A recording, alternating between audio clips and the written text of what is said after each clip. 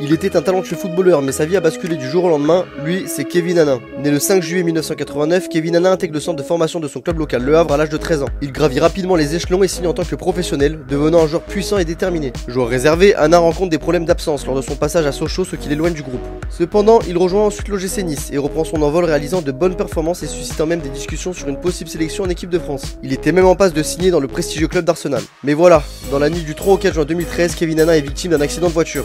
De multiples fractures sont détectées, le jeune homme va être plongé dans un coma artificiel dont il sortira 10 jours plus tard. Résultat, une fracture à la colonne vertébrale. Kevin ne pourra sans doute plus jamais remarcher et restera tétraplégique. Un rêve brisé pour celui qui n'était pas toujours à sa place dans ce monde si grand du football. Et pour toi, le football français a-t-il perdu l'un de ses plus prometteurs milieux?